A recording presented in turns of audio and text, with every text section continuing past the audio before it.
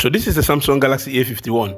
Now according to Samsung, this phone has awesome screen, awesome camera, long lasting battery life. Those are the things they're using to market this phone. Awesome screen, awesome camera, long lasting battery life and all that.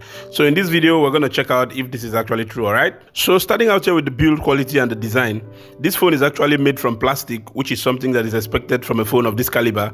And the material that is used to design this phone is still the same material that was used in last year's Galaxy A series lineup.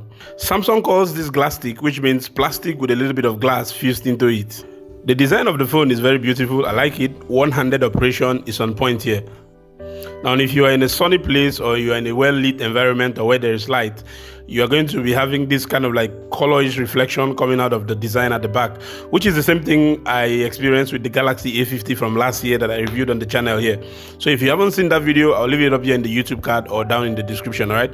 On the spec sheet, the base model starts at 4GB RAM and you can also get a model that has 6GB of RAM, 128GB in-built memory. The configuration you get in terms of the memory actually depends on the region you are buying it from. This year's Galaxy A51 is being powered by the Samsung Exynos 9611, which Samsung says is faster than the Exynos 9610 that ran on the Galaxy A50 from last year. It still runs on the Mali G72 graphics card, which is the same kind of graphics card that ran on last year's Galaxy A50. I've been playing games with it. I haven't really noticed any spectacular difference in terms of the gaming performance from last year's Galaxy A50. But what I have noticed is that the battery on this phone lasts longer in terms of gaming than last year's Galaxy A50. Now, I don't know why, because both devices have 4000 mAh battery, but the Galaxy A51 is lasting longer in terms of gaming than the Galaxy A50. So I guess it has to do with that Exynos 9611, which um, manages battery better than the Exynos 9610. Okay, let's face it. Even if you don't like Samsung phones, even if you're an iOS user, even if you are an Apple fanboy, once you look at a Samsung phone, you just will not be able to help it but fall in love with the display. Samsung is the king of displays when it comes to mobile displays. Like, no phone has a better display right now in the market than Samsung phones. Even the mid range phones still have better displays than most flagship phones from other brands. It's a Super AMOLED display, 6.5 inches in size, full HD display. Even on a very sunny day, this display still works fine outside. Like I took it out. One of the things I look for personally in a display when I'm buying a phone is the fact that I have to be able to use the display on a sunny day or outdoors. And this display actually meets that criteria. Now to make this display even more fluid and even more smoother, it runs on the Samsung One UI 2.0, which I think is very very awesome. Now One UI is really really nice a lot of people don't really like One UI, but I think One UI is good because it packs a lot of features.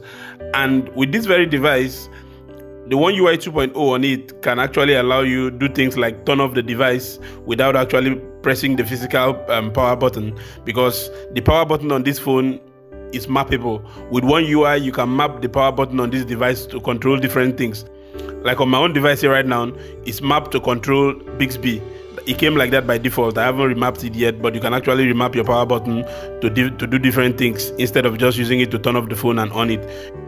So this display plus One UI is a very good marriage. I've actually enjoyed using it. The only downside about this display I don't like is the fact that they had to use a Corning Gorilla Glass 3 to coat it. So which means this display might not be as durable as you might think it should be. Now compared to other phones that are a bit cheaper than it, like say the Xiaomi Redmi Note 8, the Xiaomi Redmi Note 8 is coated with Corning Gorilla Glass 5. You know, so Samsung should have taken this thing a step further to make this display more durable. But even that is not a deal breaker for me because I hardly drop my phones. The biggest upgrade in the Galaxy A51 is in the cameras. Now this phone comes with a quad camera setup against the triple camera that came in the Galaxy A50. And there's an all new camera design which makes the Galaxy A series look like its elder brothers, the Galaxy S20 series. For those of you who don't realize it, Samsung has actually done a massive design overhaul amongst all its electronics devices. So the main lens is a whooping 48 megapixel sensor against the 25 megapixel that we had on last year's Galaxy A50. And then we also have a 12 megapixel wide angle camera, we have a 5 megapixel macro lens, which is a new addition, and then we also have a 5 megapixel depth sensor. And also, we now have a new 32 megapixel selfie camera, which is sitting in that hole on the display, which in my opinion is better than the teardrop notch from last year. Most people that have reviewed this phone are of the opinion that the cameras are not that good. Now, first of all, before you talk about how good the camera is or the cameras are, you might actually want to consider the fact that this phone competes in a particular price segment or it competes in a particular um, segment of the market, which is the mid range section. So you might not be expecting the cameras of this phone to perform as good as the iPhones or maybe the Samsung Galaxy S lineup. But I've been able to take some very awesome pictures with this phone. Now the bokeh mode or the portrait mode is really really good. The selfie cameras are okay. If the cameras are the reason why you are buying this phone, I think you will actually be making a good choice here.